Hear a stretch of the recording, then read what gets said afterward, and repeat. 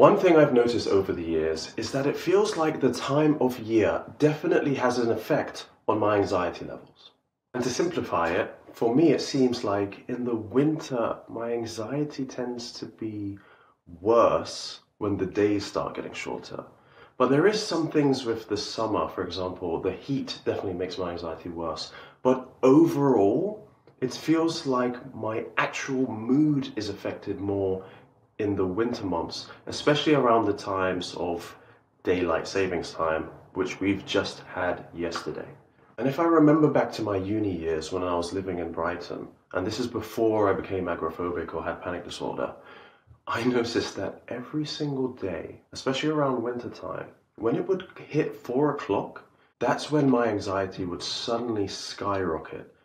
And one thing that I would do is I was I would always text my dad and I would say, "Hey, I'm feeling anxious or I'm scared," and that was a little bit of a bad habit in itself, but it's important because one thing that my dad did was he realized he said I remember I, I told him that I was feeling anxious and you know I didn't know what to do. And he texted me oh yeah look it must be four o'clock. And I was like what? And he was like you text me every single day at four o'clock. And I was like what's the... I was just sitting at home there's no reason why suddenly my anxiety should spike at four o'clock but it did and I realized that okay hey this is, seems to be when the when the sun is is going down. Like that was when that was about the time of sunset. And there's been other times, a couple of years ago, I noticed that just before the clocks changed, I noticed it was getting darker earlier, and I just and I just felt way more anxious all the time. I couldn't put my finger on it at the time, but I was just like, I, I don't, I don't feel right. I get a more depersonalized, more depersonalization, more derealization. It just feels weird. And then I realized that we were at that time of year when it's really obvious that things are changing. Anyway, so I've found a few articles that I want to share all about this sunset anxiety and seasonal anxiety. And I want to go through them and see if there's anything we can find out together that might help. And also tell you some of the things that I actually do that have helped me. So before I start sharing this, the number one thing that I've done that has helped me with this seasonal change is taking fish oil, like cod liver oil, with vitamin D in it, right? This, I don't know who suggested it to me, maybe a therapist at one point, but as soon as I started taking this regularly, that impact that that change of year had on me is so much less. So now, for me, as soon as I realize, okay, it's coming up to that change of year. The days are starting to get shorter. I go to the store and I get this cod liver oil. I don't take it in summer because I get I think I get enough sunlight, I get enough vitamin D. But when winter's coming, I take it religiously every day and I truly believe it helps me. So that's just one thing that I'm just going to get straight out there. This is something that I believe really helps me and I, I get the liquid version, and I'm not gonna lie, I kind of like it. but this is not a sponsored thing, so go do do your research, find a brand that maybe is is good for your area. Make sure it's high quality. But it's very interesting because if you look at countries that have a lot that don't don't have a lot of light, they actually need to take stuff like this because there are health implications from not getting enough sunlight, not getting enough vitamin D, not seeing enough sight, sunlight in the morning. That can really affect your mood and and there are physical impacts as well. But let's have a look. So I've got an article here. I'll share my screen. Um,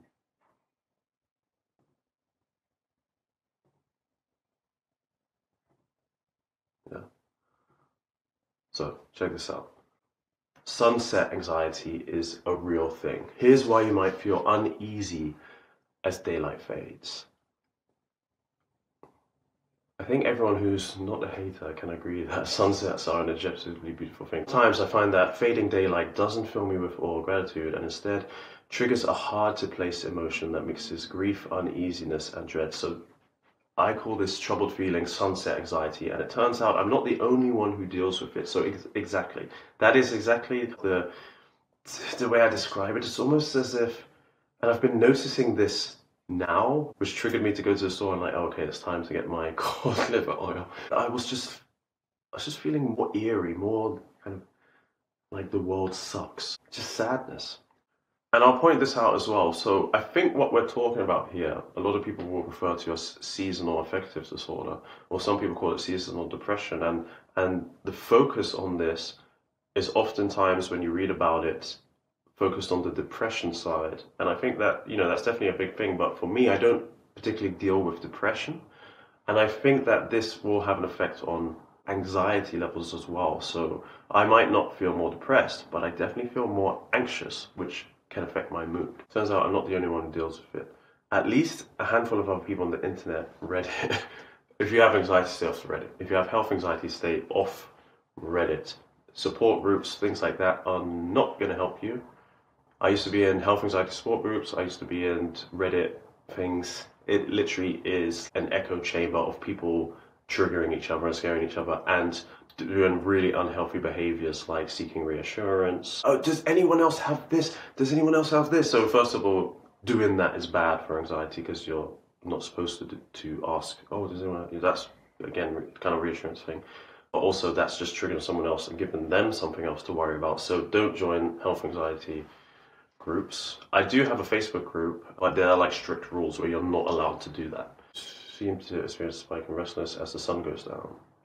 Interesting. I don't really get the restlessness part.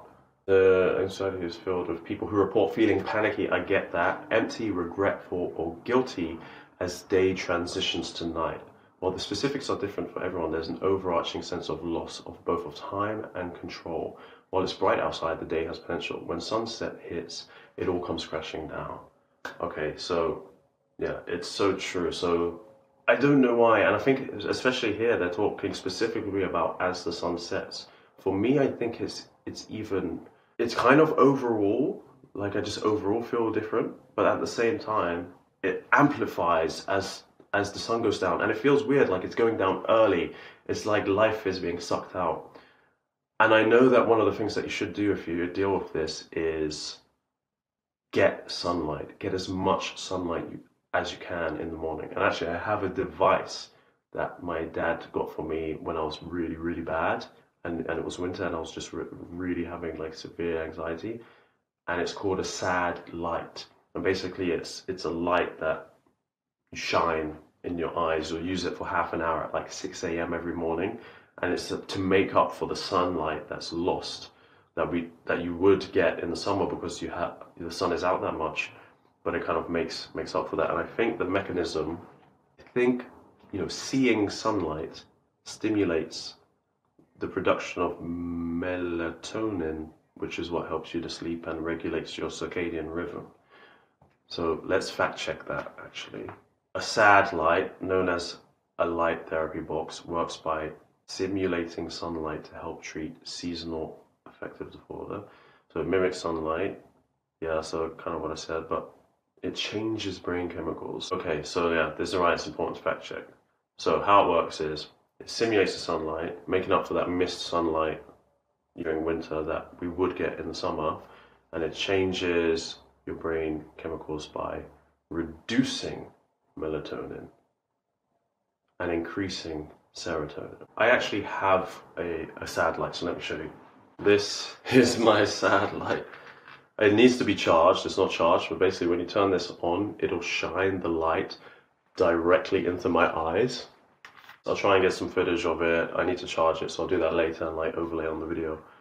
But I can't tell you if this works or not because I haven't used it enough or long enough sustainably. I think at the time when I when I was really using it, I didn't fully commit because I was in such a bad place that's another thing. It's hard to fully commit when you're already suffering, if that makes sense.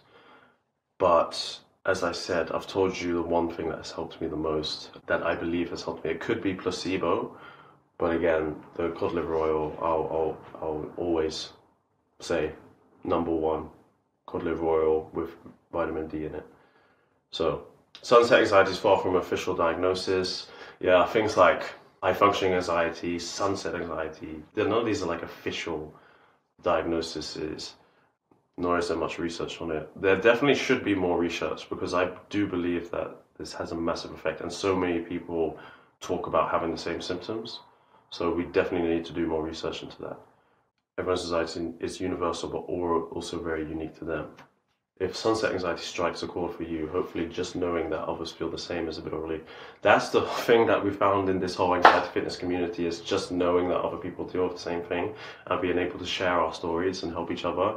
I mean, that's exactly what I'm doing here. So I'm just telling you what I experienced and we're, we're figuring this out together. So definitely true. So I'm happy that they're writing this article. What might cause it? Those of us who are naturally more anxious or who've been diagnosed with an anxiety disorder may be more likely to feel uneasy at sunset.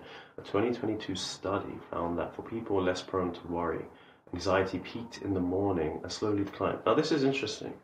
My anxiety is the best in the morning. When I, as soon as I wake up, I can feel like I can almost do anything, and then as the as the day goes, it get I get worse and worse until I'm, you know, stuck in bed and I can't can't do anything. Not not really anymore, but that's what it was like. Again, as, similar as I was talking about with the four o'clock thing, just get worse and worse and worse. But participants with high worry levels experience sustained anxiety throughout the day. It's interesting. So for me, it's not sustained. It was quite low in the morning. Like that's when I would do my best exposure. If I had to drive somewhere or do something, I could do it in the morning. But as soon as it got past like 10 was too late now, I couldn't do it. I was too anxious. And then through the day, it get worse and worse and worse. If you ask me to do something at 3 o'clock, 3 p.m., no, nothing, nothing's going to happen. And then until bedtime, and then I would have nocturnal panic attacks. so that wasn't fun. Well, that'll be another video. Nocturnal panic attacks will be a whole video in itself. And let me know in the comments, yeah, should I do a nocturnal panic attack video? So, New research also suggests your personal body clock may have something to do with it. Evening types, night owls, are more likely than morning people to experience nervousness and racing thoughts from the afternoon onwards. Again, yeah, a little bit different to me because I, te- I think I'm a morning person, but I still get worse as the day goes. Symptoms tend to be more severe in the afternoon or evening. Yeah, that's true for me. Yeah. So people for people with anxiety disorders, symptoms tend to be more severe in the afternoon or evening. That's very true for me. Besides the propensity for worry, a lot of things could be at play here. The roots of your uneasiness will depend on how exactly you're feeling. When clients say they're anxious, I'm always like, well, what flavor? Personally, my sunset anxiety tends to be the strongest when I work from home, especially when I'm still in my pajamas at 6 p.m. So I 100%. Ever since I got Caesar, my dog Caesar that I'm sure you all know and love. This has been as well so much better for me. I get up maybe seven or eight, and usually I'm very busy right now, but usually the very first thing I do is take him outside and walk. Right now I'm filming this video at eight, and then after I finish filming this in a few minutes, me and Caesar are going on our walk. And when I do that, the whole day is better. Maybe it's because I'm getting more sunlight earlier. Maybe it's because I'm just, you know, it's just a way to freshen the mind. I don't know. But when I walk him nice and early, the whole day is better. And also, what happens is when it gets to the evening and it starts getting dark, I want to stay inside and I want to like curl up and stay inside and not do anything else. If I do that, then I just feel terrible. But if I say, okay, I need to go walk Caesar for his evening walk, despite how like ugh, eerie and terrible it feels, I will feel better when I get back.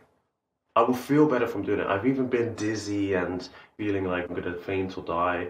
And I've said, know what, I have to do this for my dog. And I'd walk him and I'd get back and I'd be like, I, I did not think there was anything that would help me to feel better. How did that happen?